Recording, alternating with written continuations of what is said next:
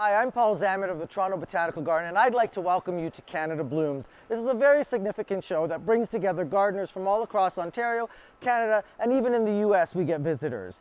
This year, our focus of the Toronto Botanical Garden is to really connect people to the garden and so that they can realize the power of their gardens. We have our Discovery Cart this year, which really focuses on the choices you make of plants that you put in your garden. Of course, we love pollinators, but we want you to think even beyond that. What about things like birds? What do birds need?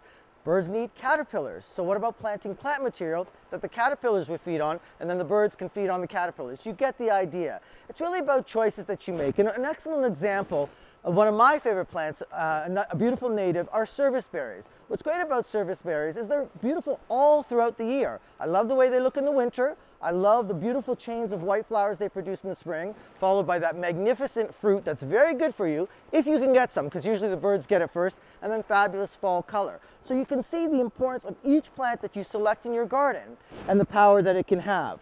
We also have our retail space, which is very important for us because we can help to support the organization. We're constantly restocking, including new fresh plant material. The retail space is filled with a wide assortment of items that our buyer, Martha, picks up all sorts of things like seeds and bulbs and books, all sorts of fun items, you know, things that you might want to get or have to get for your home and or garden. And then backed by popular demand, of course, is our honey. The honey bar features over 30 different selections of honey from local growers. Unpasteurized honey, everything from raw to creamed uh, to just pure honey. And what people are often asking is, well, what is the difference? Well, we can help you with that as well because we, at our honey bar, you can actually sample a variety of the different honeys, including the Toronto Botanical Garden honey, which personally I think is one of the best that's out there. So you'll easily be able to sample and get all sorts of information of what the difference between honey is and what you can do in your garden to help to su support bees. Furthermore, we've got things in our booth such as uh, pollinator-friendly plant material, native seeds. We're often encouraged to eat local or buy local. What about reading local? And there's a lot of great books by local authors new uh, revised copy by Lorraine Johnson. And one of my favorite new additions is this book by Emma Biggs. Do you know she's only 12 years old? Really a great book, uh, not only for children, but for gardeners of all ages. Once again, other plant material, we, we visit local small growers and select material. Beautiful variegated orchids, succulents always popular, hellebores, single flowers to support the bees.